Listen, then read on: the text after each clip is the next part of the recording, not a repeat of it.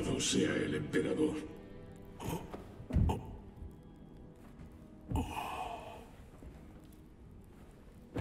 La herida era mortal. Ha logrado sobrevivir a una intervención Rubicon. Le hemos rehecho. Y ahora pasa a ser un primaris. ¿Por qué? El mismo Lord Calgar fue quien dio la orden. ¿Está aquí? No. El primarca lo ha llamado. Debo volver a la fortaleza. Ha sido reasignado. Pero yo soy un vigía de la muerte. La Inquisición no encontró signos de corrupción, Titus. Fue acusado de herejía. Lleva cumpliendo condena en los vigías de la muerte casi un siglo. Y en ese tiempo jamás ha flaqueado. No obstante, nunca hallará la redención hasta que se enfrente al juicio de sus hermanos. Demuéstrenos su valía y le concederemos la absolución.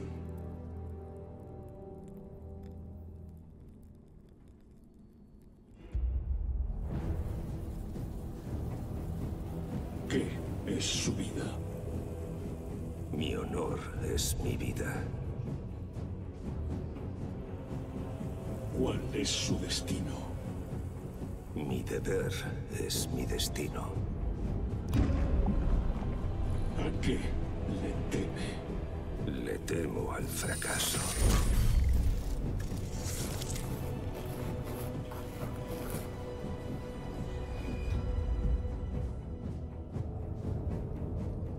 ¿Cuál será su recompensa? Mi salvación es mi recompensa.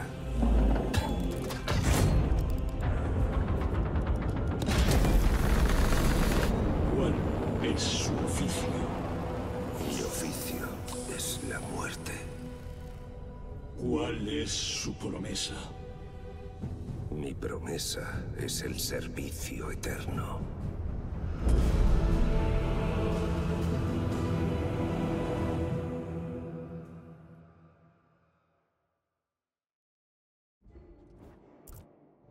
La intervención Rubicon le ha convertido en un marine primaris. Ahora es más fuerte, más rápido y más resistente. Tomará su lugar como ultramarine una vez más. Sus hermanos sabrán que ha servido en los vigías de la muerte. Mas su estado deshonorable como escudo negro ha sido censurado en los archivos. Si lo descubrieran, sin duda habría preguntas. Lord Calgar le ha ofrecido una segunda oportunidad. Aprovechela.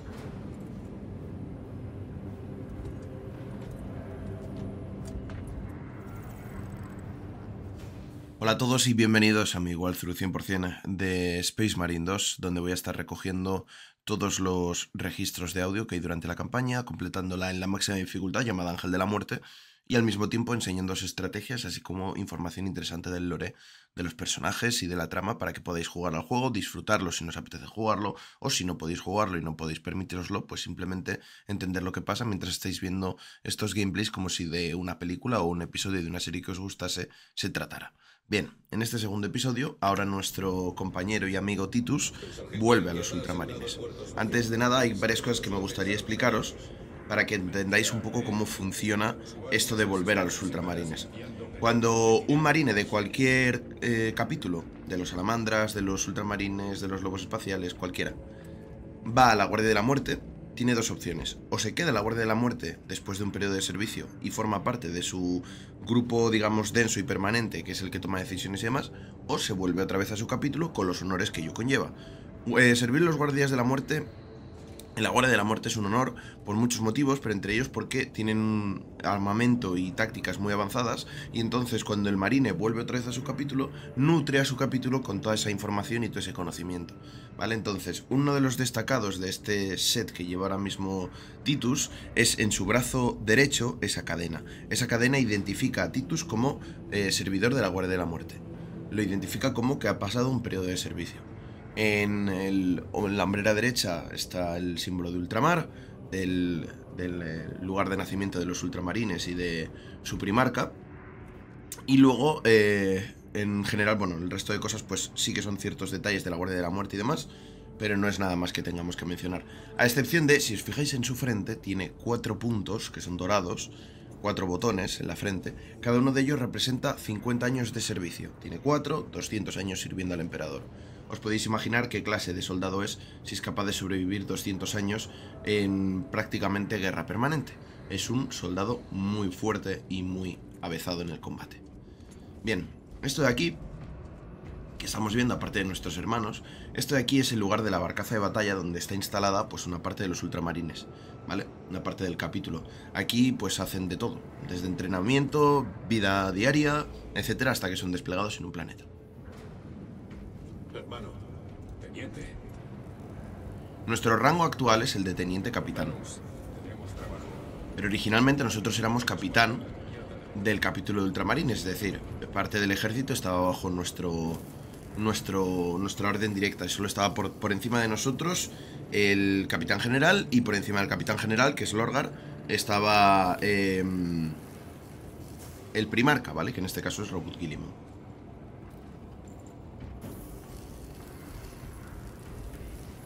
Fijaos, os había comentado en el episodio anterior que mm, en algunas situaciones, o sea, aquí no se utiliza la tecnología en el sentido de la IA, de la inteligencia artificial, está prohibida por un problema que hubo durante el periodo entre los 20.000 y los 30.000, ¿vale? Entre el, entre el siglo XX y el siglo 30.000.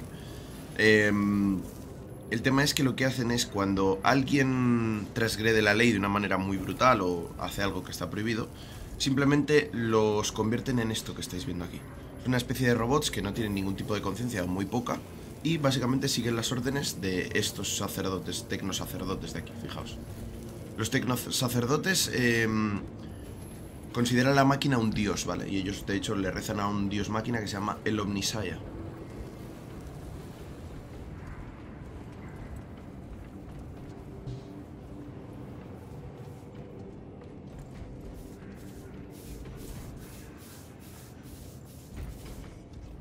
Durante este episodio va a haber varios coleccionables que os iré mostrando y los tendréis en la descripción de este vídeo, ¿vale? Con unos timers para que podáis acceder a ellos. De todas formas, a mí me gusta mucho el tema de explorar las zonas y enseñaros lo que está pasando alrededor.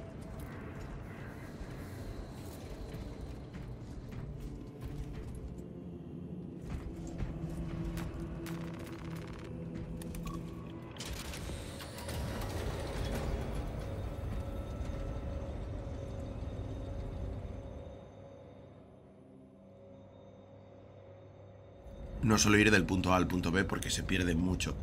Y realmente, por lo que se caracteriza mi contenido es porque tanto la persona que lo ve como yo que soy el que lo está creando, disfrutamos al 100% de, de todo lo que hay alrededor.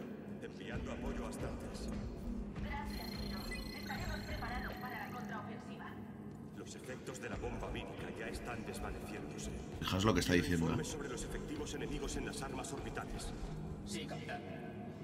Dios, nunca he visto de esta manera tan detallada una de las barcas de los ultramarines, pero es aún una auténtica pasada, es como una iglesia andante. De hecho, lo que están hablando, este es el planeta Kadako, el que estáis viendo. En el episodio anterior lanzamos una bomba vírica en él. ¿Os acordáis que os expliqué que los tiranidos son especialistas en la adaptación? Bien, han pasado 36 horas y ya no les hace efecto la bomba vírica.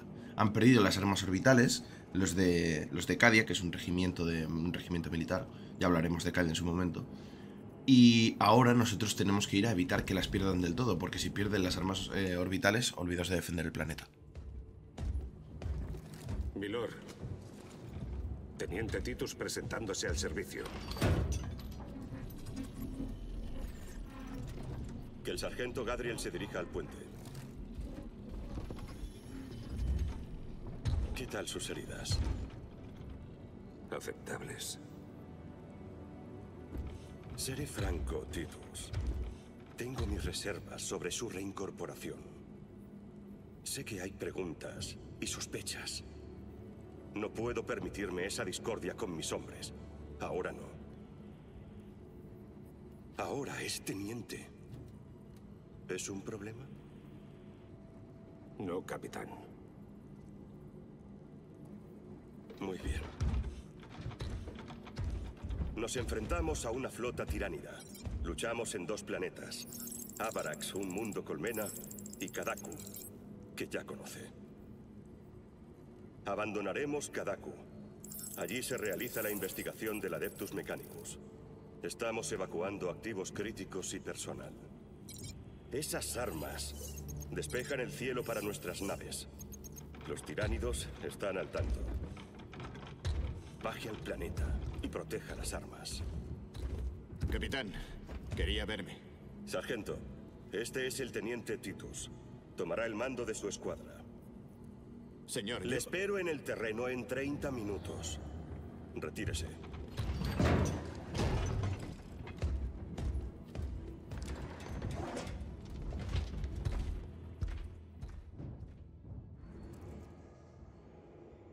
Teniente, disculpe que haya vacilado. Tan solo estoy sorprendido por este desarrollo. Yo también. Sargento Gadriel, la absolvedora está lista para salir. Hermano Kyron, este es el teniente Titus. Dirigirá su escuadra. ¿Ah, sí? Vaya. Me alegro de tener a un comandante con tanta experiencia. ¿El resto de la escuadra está lista? Ya están en la cubierta de vuelo. Muy bien. Salimos de inmediato. Bien, como os decía, a pesar de sus ironías, Titus tiene más tiempo de servicio que todos los que están aquí, incluido Acheron, que es el, que es jefe de esta barcaza. Por lo tanto, lo que tenéis que entender es que realmente el que más experiencia tiene en cuanto a tiránidos y en general a guerra es eh, Titus. Todos los demás deberían de estar por debajo del en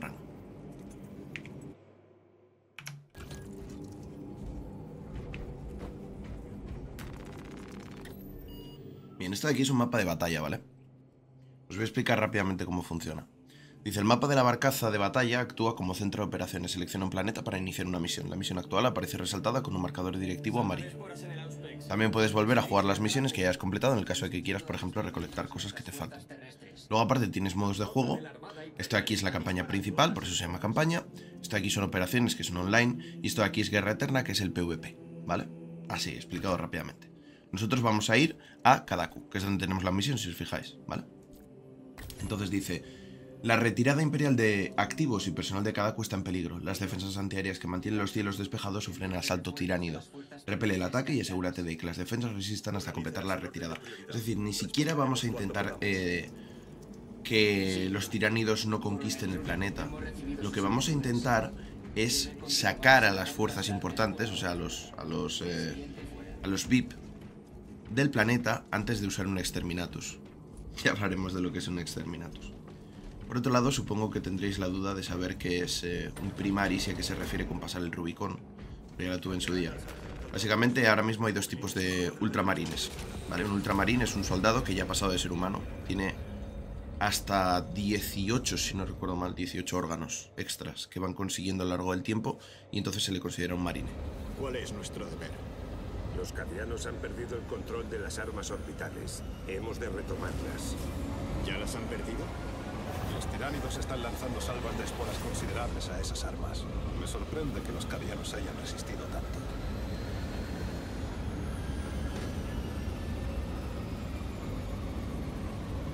Los hermanos Nireo, Altareus y Helion forman el resto de su escuadra. ¿Alguno de ustedes se ha enfrentado a tiránidos? Solo estos últimos dos días. Entonces hay mucho que aprender. Lo estoy deseando. Un marine tiene 18 órganos y pasa de ser pues un humano a una especie de ser eh, transhumano, ¿vale? O sea que ya no es tanto humano, sino más bien otra cosa. Un primaris es cuando le haces lo mismo a un marine, es decir, le añades dos órganos extra, mejora su fuerza, mejora su blindaje eh, dérmico, o sea, el que está bajo su piel, aumenta de altura, aumenta en general, es como un marine pero mejor. Lo que pasa es que al proceso de pasar de ser un marine a ser un primaris se le llama cruzar el Rubicón. Se le llama cruzar el Rubicón porque una vez que empieza la operación, no tienes de otra que completarla. En el proceso puede morir el marine o puede renacer como un primaris.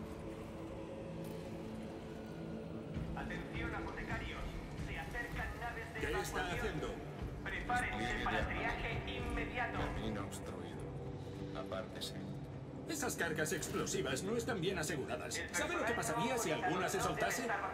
En los compartimentos de la cápsula 2 y Eco misión ya lo hago yo. Vaya a buscar a un tecnosacerdote que le apriete los tornillos de ese medio cerebro. Oficial de personal Filomena, preséntese ante su maestro de vigilancia de inmediato.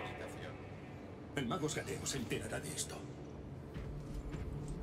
Compartimiento del hangar Júpiter 3. Prepárese para procedimiento y aterrizaje.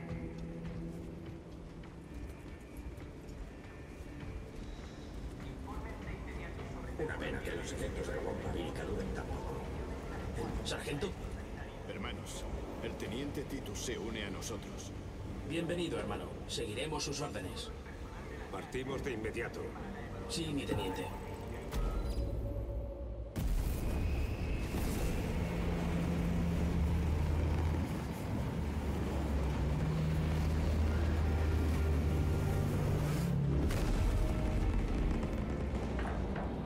Bien, la misión se llama Fuego Celestial, sucede en Kadaku. Lo que decíamos, la retirada imperial de efectivos y personal de Kadaku está en peligro y hay que defenderlo para permitir que todo el mundo escape. Objetivos de la misión, reunirnos con el Astra Militarum, que es un segmento del ejército de imperial, y defender el emplazamiento antiaéreo. Eso es lo que vamos a hacer.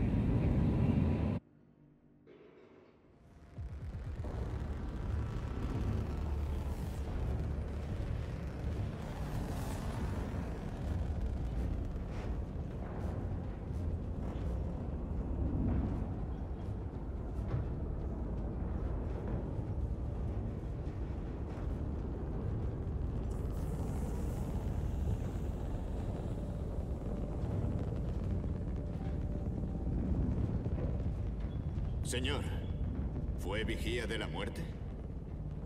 Sí. Debió ser un gran honor.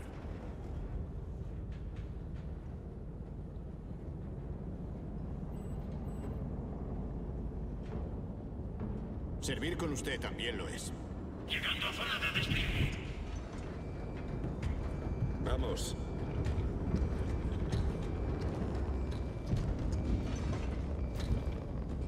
¿Ve esos galardones? Nuestro teniente tiene más de 200 años. No nació siendo primaris. Es verdad. Y le ha arrebatado el mando.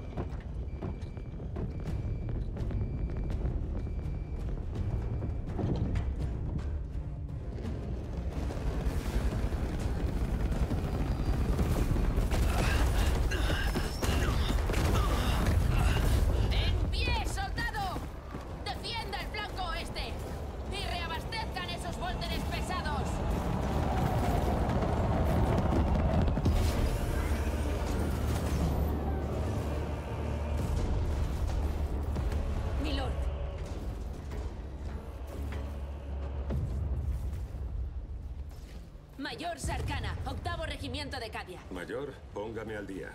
Esas bestias han tomado las armas orbitales, acorralándolos en este campamento y se preparan para atacar. Lireo, llévese al Tareus y a Helion y quédese aquí para asegurar el campamento. Sí, hermano. Mayor, debemos llegar a las armas defensivas. Sí, milord. Sígame. Como veis, eh, el Astra Militarum, la parte de los cadianos, son humanos. No tienen ninguna mejora genética ni nada. Son simplemente humanos. La situación ha Con mucho valor, por cierto. Esas malditas gárgolas contaminan los cielos. ¿Los tiránidos han tomado las armas orbitales? Así es. Los incesantes ataques dificultan lanzar una contraofensiva. Nos encargaremos de ello. Mirad la diferencia de tamaño entre un humano normal y un Astartes. Astartes es como se le llama a los marines, ¿vale? Para que nos entendamos. Literalmente como una tienda de campaña. ¿no? ¡Mayor! ¡Se acercan más por el este! ¡Refuercen el flanco este! ¡Acompáñelo! Ayudaremos en la defensa. Muy bien, milord. Decidme si no es tremendamente épico. O sea, el despliegue visual, ver cómo las flotas incesantes de tiránidos llegan. Mirad, eh, cantidades más abrumadoras.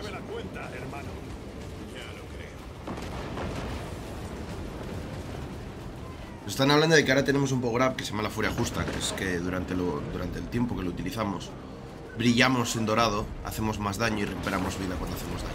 Aquí vienen.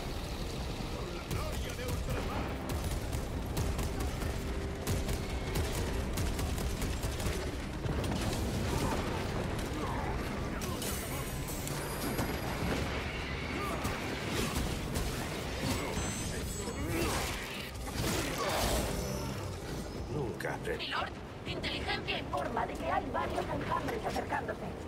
Diríjanos a ellos. Enviando coordenadas a su pantalla Auspex.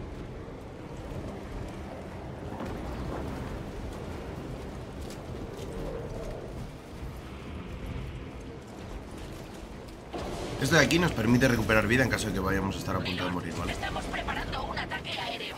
¿Puede retener al enemigo hasta que impacte? No le quepa duda.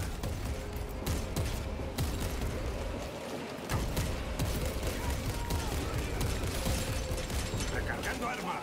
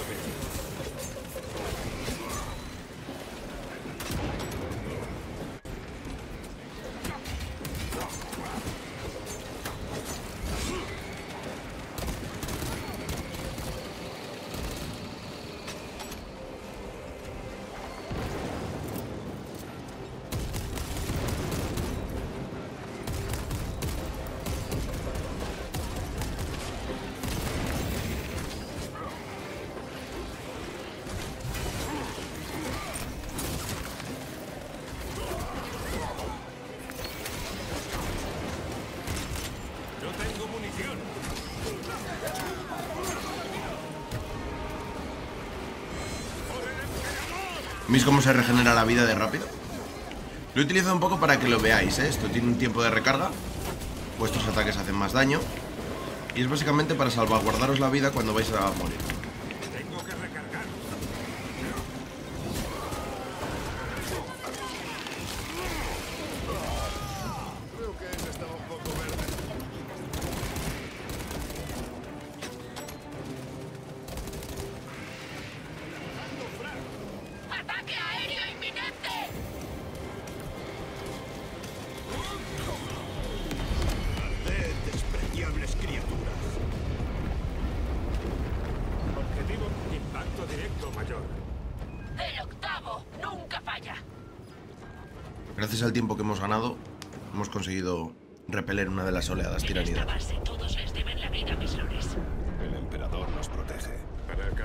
Armas de defensa orbital tendremos que atravesar la jungla.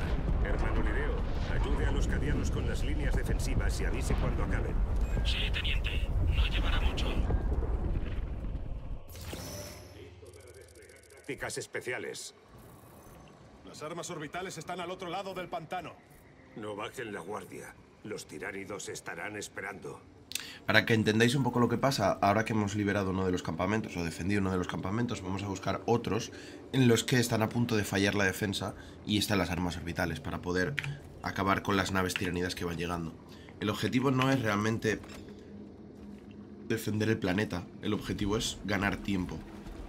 Cuando un contingente tiranido ataca de esa forma un planeta, de la forma en la que estáis viendo ahora, es prácticamente imposible ya terminar de defenderlo. Lo único que podemos hacer es evacuar eh, se ha dicho. las personalidades importantes, capitanes, generales, científicos, y luego lanzar un Exterminatus. ¿Qué es un Exterminatus? Preguntaréis. Esto será de utilidad. Un Exterminatus es eh, un disparo orbital que hace una nave. Debió originarse el enjambre. Estos cascarones están por todos lados. Máquinas vivientes y orgánicas. Así es. Sus naves, estos huevos, todo ello. Su mera existencia es un sacrilegio. Hoy los diezmaremos, hermano. Y básicamente lo que hace es destruir el planeta, ¿vale? De tal manera que no se puede utilizar. Ese planeta queda inservible para el resto del tiempo. Se vuelve una roca. Pero todas las unidades enemigas y por tanto esa flota, esa sección de la flota tiránida también queda destruida. Es la última de las opciones y solo se toma en casos muy muy específicos. Bien, como os había comentado durante este episodio, hay varios coleccionables y aquí vamos a llegar a uno de ellos. En este caso, el coleccionable está aquí. He intentado contactar con la Storm Talon abatida. El hedor del lodazal era indescriptible. Varios miembros del grupo se ahogaron en sus aguas. El alcance de la infestación tiránida todavía es desconocido. Las últimas lecturas sugerían que Kadaku estaba cerca del umbral para Exterminatus. En ese caso, no lloraría por este mundo. Ya ha tomado demasiado. Bien, con esto tendríamos la primera placa de datos, en este caso en forma de registro de audio encriptado, de la campaña. Habrá unas cuantas a lo largo del juego, como siempre las tendréis en la descripción, con unos timers para que podáis saltar a ellas directamente.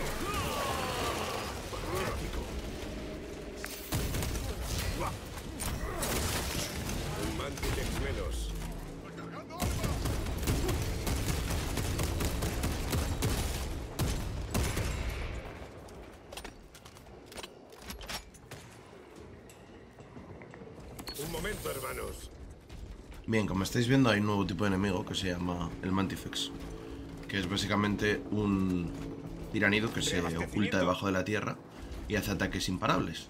Tenéis que tener mucho cuidado con él y yo recomiendo, en esta dificultad, como estáis viendo, cualquier golpe os quita, os deja un golpe de vida. Por eso no tenéis que tener miedo tampoco a estar a un golpe, porque no significa que vayáis a morir instantáneamente, pero si estáis muy cerca. Entonces tenéis que tener herramientas para el momento en el que esto sucede. Una de ellas es poder utilizar, por ejemplo, la furia. Tarda en cargarse, pero la vais a cargar. ¿Por qué? Porque como hay muchos enemigos, enseguida la tenéis disponible de nuevo. Cuando los veis así con esos ojos rojos, significa que han entrado un poco como en furia. Hay que tener cuidado con ellos. Atacan mucho más rápido, son más despiadados.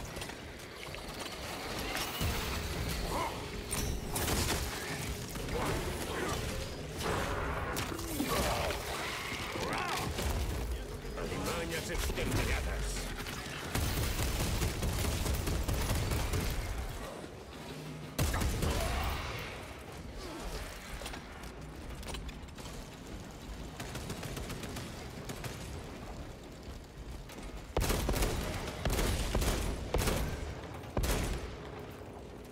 Recargando.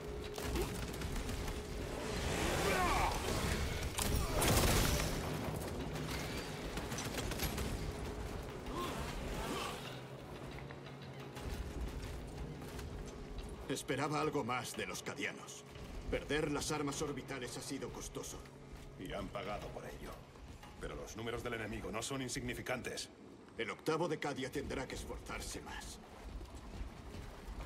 Una cosa que también os recomiendo es que aunque parezca un juego lineal, que en parte lo es, es decir, es de- hay que ir desde el punto A hasta el punto B, hay sitios por los que podéis explorar y siempre vais a encontrar, por ejemplo, estimulantes, más munición, granadas, otros tipos de armas que va habiendo por ahí en distintas zonas de. como de.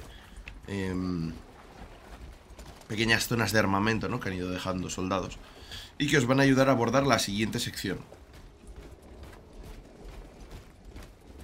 El emperador me protege.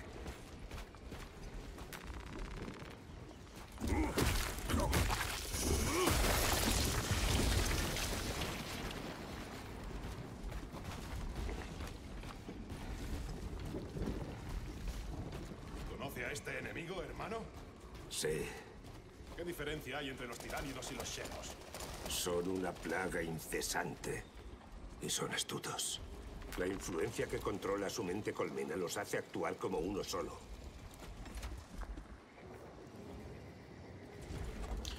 Estos de aquí son marines que se han enfrentado a los orcos, ¿vale? Que son otra de las razas que intenta acabar con la humanidad. Bueno, en general intenta... los orcos simplemente luchan con todo lo que hay. Entonces no tienen idea de cómo funcionan las tácticas ni de cómo enfrentarse directamente a ellos.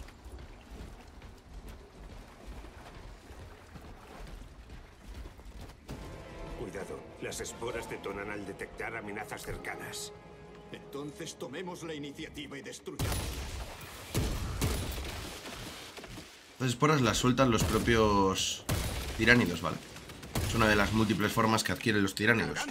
Gracias a la mente colmena, que es una experta genetista que puede hacer mil y un cosas con la, con la biomateria.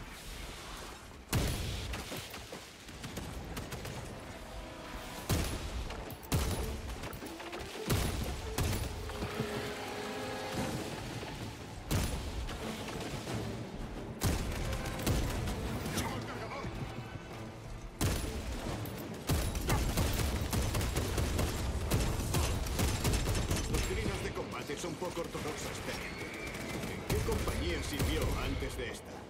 He servido al emperador en otros lugares. ¿Vigías de la muerte? Sí, Algún día también espero compartir dicho honor.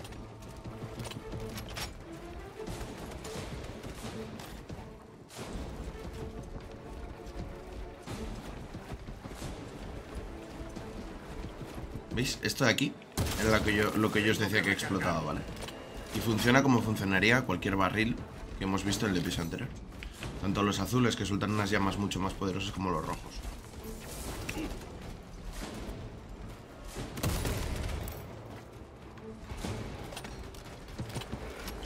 reabasteciéndome.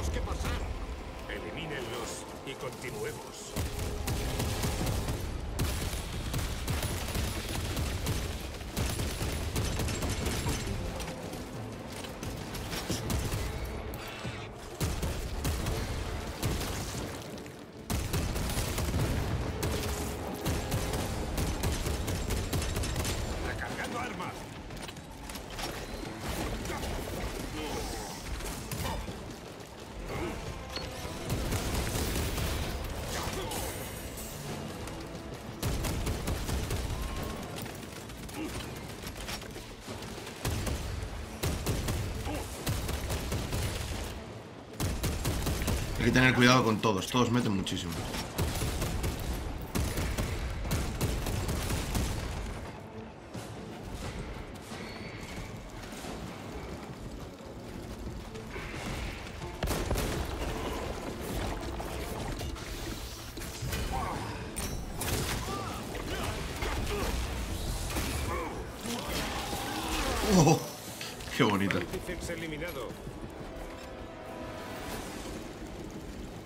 Bien, vamos a aprovechar que hemos acabado con esta oleada y a rearmarnos un poco lo que podamos. Como estáis viendo, si os colocáis bien y si buscáis bien, en todos los sitios hay algo. Este Volter con lanzagranadas me gusta mucho, es el Volter que tenemos nosotros. Pero podemos cambiar a modo, obviamente, de lanzagranadas. Vamos a gastar los estimulantes. Vamos a llevarnos las granadas. Y en este caso, como os decía, podemos hacer así. Podemos cambiar al modo lanzagranadas, como estáis viendo. Tiene una pequeña parábola y lo que toca explota, ¿vale? Esto para hacer eh, daño rápido a ciertos enemigos que se nos puedan pegar demasiado, nos va a venir muy bien. Obviamente es mejor que un Volter normal que no tenga nada. Cualquier añadido que podamos llevar, algo más de potencia de fuego, nos va a venir bien siempre.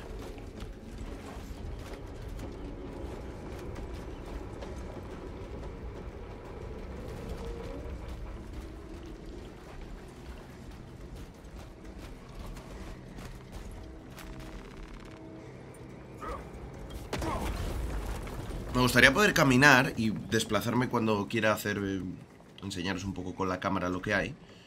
Pero eh, si estáis jugando en teclado y ratón no podéis caminar, solo podéis ir a esta velocidad. Y por más peticiones que han hecho en Steam y en otros sitios para que añadan un botón para que camine, no han querido hacerlo. No, el pantano estará infestado con xenos. Hay un búnker a lo largo del lecho del río. Iremos por allí. Pero eso añadiría un tiempo considerable. Sin duda podríamos... No cambiaremos una buena estrategia por conveniencia. Como ordene.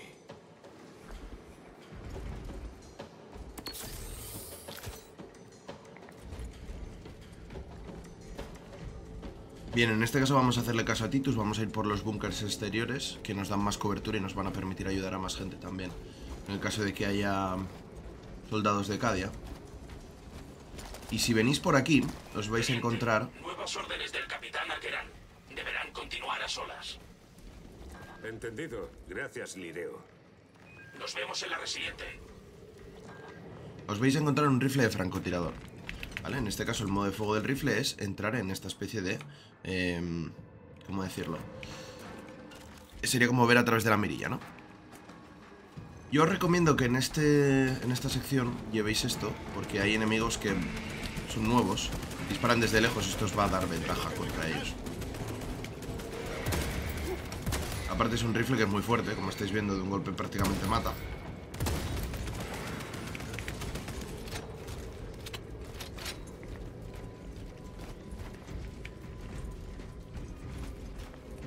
No son realmente para estos enemigos, para uno que vais a ver ahora. Ahí están, las armas orbitales.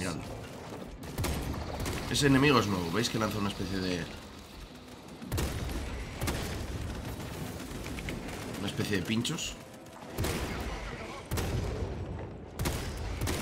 Pues esas armas hacen mucho daño, porque mm, están durante varios segundos haciéndote daño.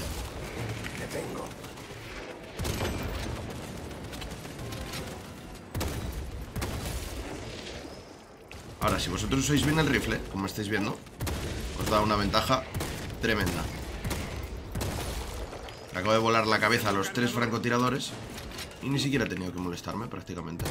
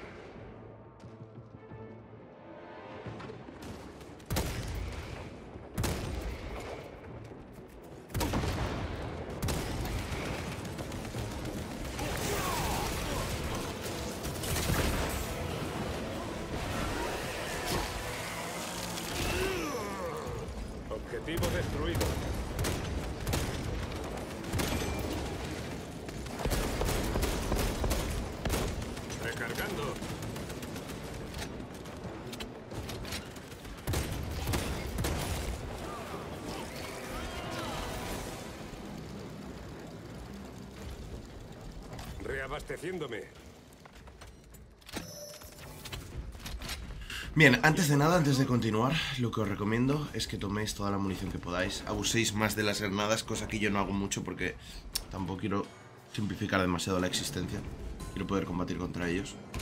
Y en cuanto bajéis aquí, antes de nada, antes de que hagáis absolutamente nada o continuéis o nada, limpiáis la zona como he hecho yo. Munición asegurada. Y después os enseñaré dónde está el siguiente audio.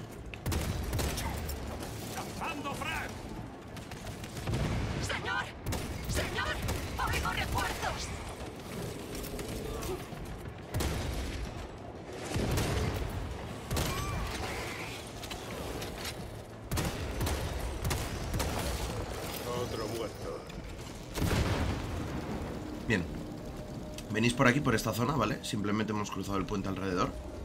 ¿Veis? Antes no podíamos cruzar porque el puente estaba roto. Hemos dado la vuelta por aquí. Y después de dar la vuelta, bajamos por este sitio. En esta nueva zona...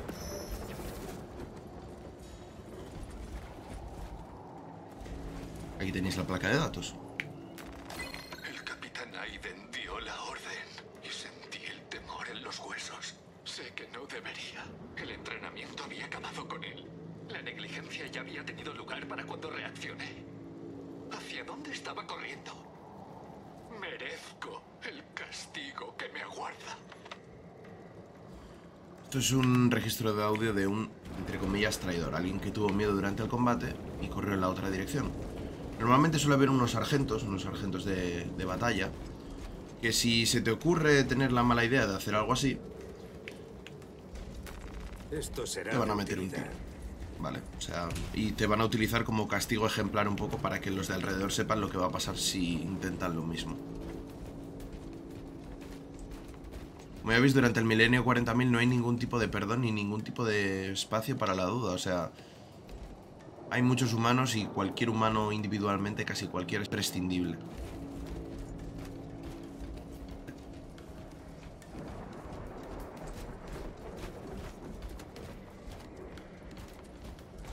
Fijaos que las zonas de las que salen los enemigos son más grandes que un propio tanque. Es una locura.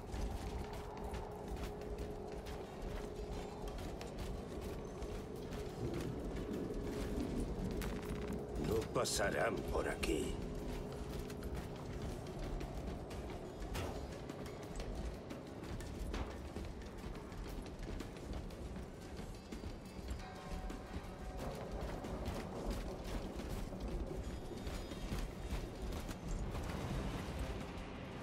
Bien, una vez que llegamos a este punto hay que tener en cuenta que esto va a ser para aguantar esta zona y defenderla de múltiples enemigos. Va a ser difícil, así que memorizad dónde están los puntos de munición, dónde están las granadas, dónde están los explosivos, porque todo esto lo vais a necesitar.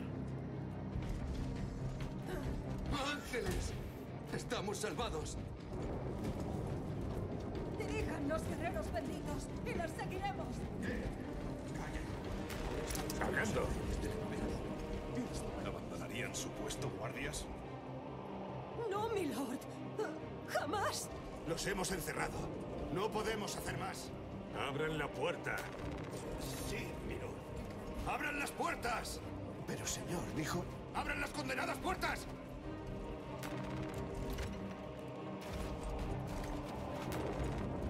Esto es un volter pesado, ¿vale? Dura poco tiempo, pero mientras dura es muy efectivo. Y nos va a permitir poder enfrentar a las oleadas. Hay otro allí más, ¿vale? Son como dos oleadas. ¡No podemos mantenerlos a raya! Servirá a su emperador, soldado. ¡Tomen posiciones! No dejen que les rodeen. ¿Qué están haciendo? Intentando subir aquí. ¡Acaben con ellos!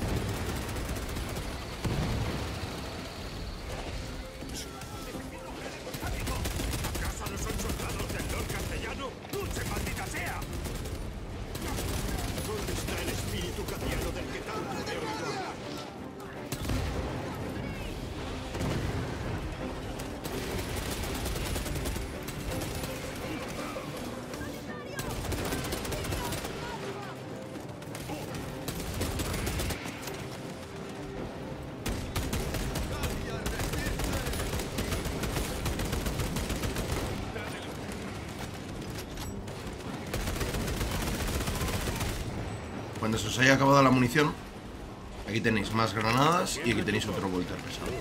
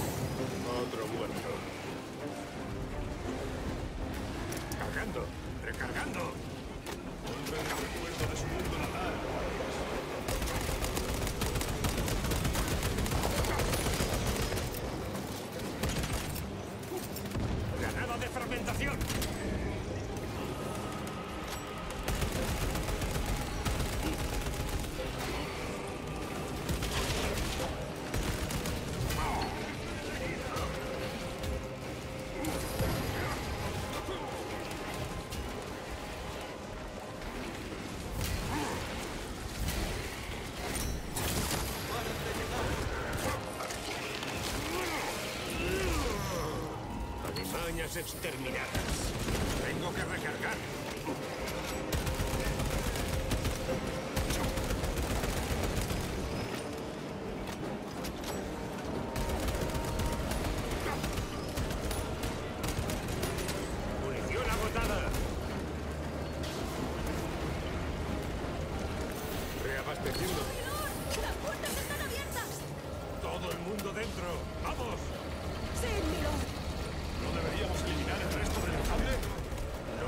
No tienen fin, o sea, esto, esto no se puede eliminar.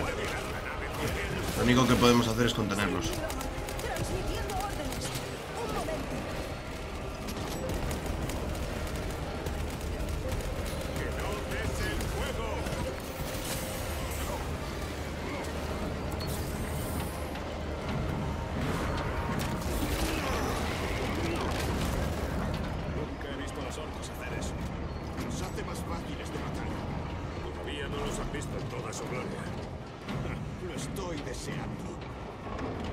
Objetivo es, con este tipo de rifles, tiene mucha cadencia, poco daño, pero de los enjambres lo que más daño hacen son los pequeños, porque empiezan a avasallarte, te rodean y estás muerto. Entonces acabas primero con todos los pequeños y luego te enfrentas a las eh, unidades pesadas, ¿no? A los que llevan las espadas, a los que llevan los rifles, a los que llevan el látigo, a los que se hunden en la tierra, es la jugada, en, este, en esta zona aquí por lo menos.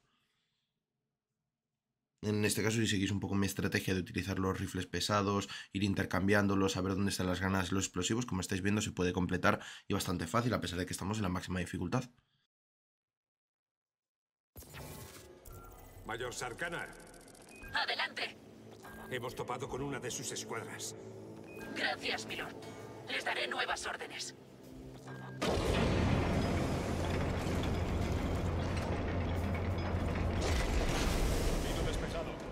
Adelante.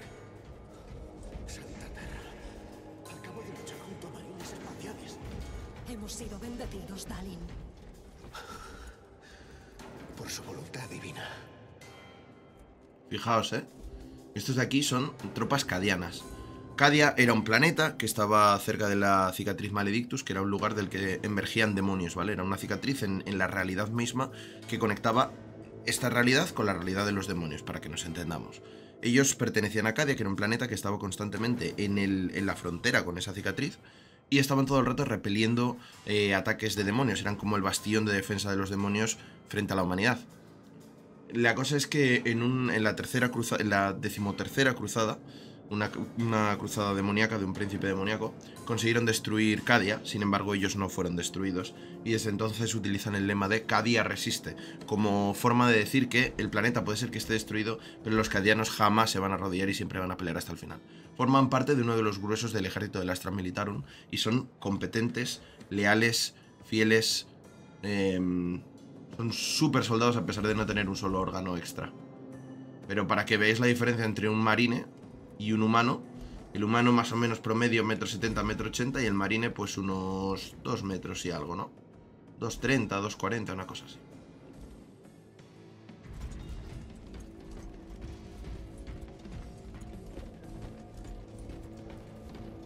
¡Qué matanza! Eso no es excusa para la cobardía.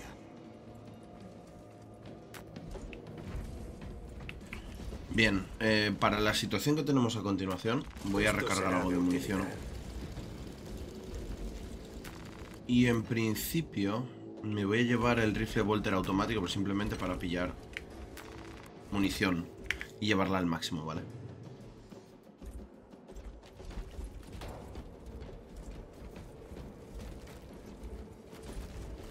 Fijaos, eh, las hordas de tiránidos. En este caso, aunque la gente suele creer eh, que los tiránidos tienen sangre verde, la mayoría de los tiránidos al estar formados por biomateria humana suelen tener sangre roja. Aunque es cierto que los hay que tienen sangre verde, ¿vale? Eso es verdad que hay algunos que tienen sangre verde.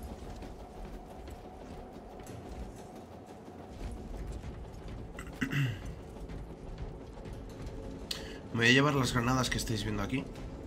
Esta caja es importante que aprendáis a reconocerla rápido, ¿vale? Con esas ahí arriba. Reabasteciéndome. Son siempre tres granadas. Y os va a permitir, pues eso, acabar con varios enemigos a la vez. Pasarán por aquí. O dejar a alguno de los pesados incapacitado durante unos segundos para poder darle una buena ráfaga del Volter.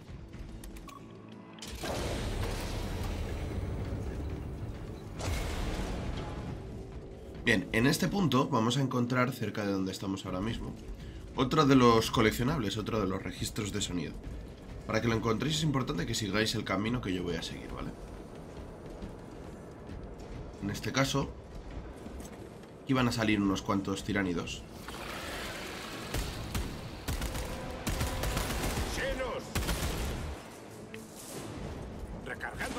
Ha quedado uno, pero se lo voy a dejar a mis compañeros, que se lleven algo ellos. Seguimos estas escaleras de aquí, por esta zona. Subimos las escaleras. Y aquí vamos a encontrar, pues eso, varias cosillas, entre ellas armas, algo de munición, como estáis viendo. Este es un rifle de Volter francotirador. Puede ser que estuviera bien, de hecho me lo voy a llevar porque creo que nos va a venir bien para esta zona a continuación. de la forja. Y la placa de datos, ¿vale? Con su registro. Monstruosidades Sheno nos flanquearon. Entonces fue cuando los desertores huyeron. Que el emperador castigue con rapidez a aquellos que abandonan a los suyos. Formamos y resistimos lo mejor que pudimos. Nos fuimos retirando, recuperando las armas de los caídos. Lucharemos hasta el final. Por Cadia. Por el emperador.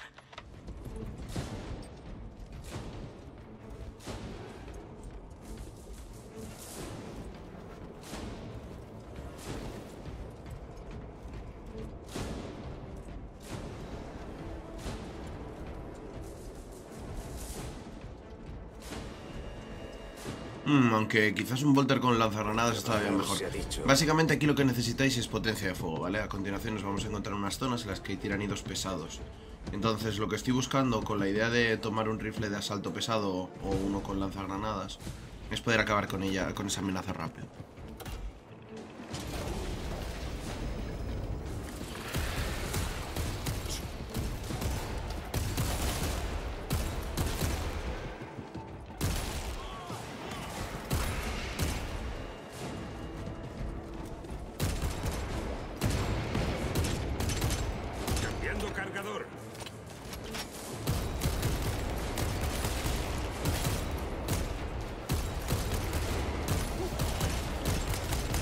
Dan demasiados disparos de esa especie de rifle verde, que es un rifle biológico, os van a dejar la visión mermada durante varios segundos. Y es un problema muy grande, así que tened cuidado con ello, ¿vale? No dejéis que se saquen demasiados golpes seguidos de esa arma. Repito, a la espera de órdenes para atacar. Mayor, ¿me recibe? Aquí el teniente Titus. Identifíquese. Soy el capitán Aiden, señor. Las comunicaciones de larga distancia han sido dañadas. Deben de estar cerca. Mantenga la posición, capitán. Vamos en camino.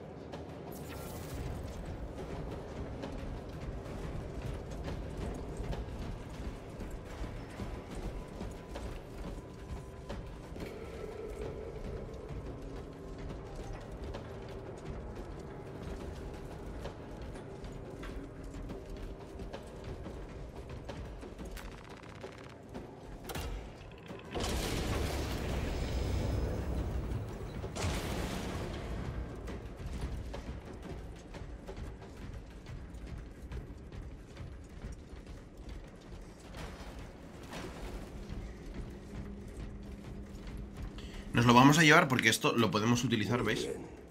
Digamos de manera temporal, sin perder ninguna de nuestras armas. Y es importante, ¿vale? Siempre que encontréis uno de estos, básicamente llevaros un arma de gratis. Incluso con ella vais a pegar los golpes a melee, ¿veis?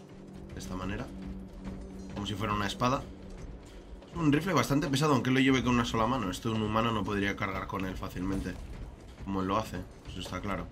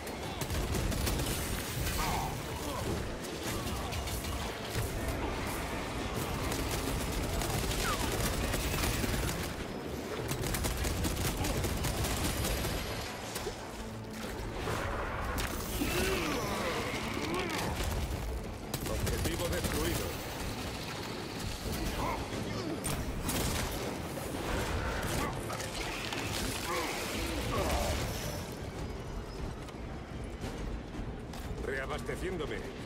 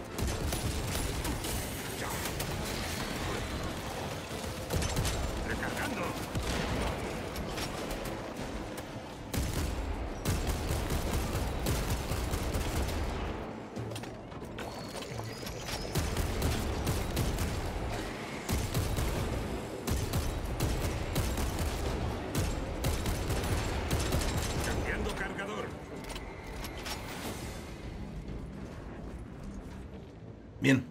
Es importante que sepáis cuándo utilizar la furia, ¿vale? Lo que estaría en la tecla Q en el teclado. En el juego de teclado, o sea, en el juego de PC.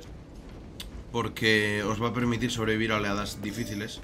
Os va a permitir encarar bien ciertas situaciones que de normal son bastante complicadas, y más en esta dificultad. Y os va a dar ese extra de daño que podéis llegar a necesitar.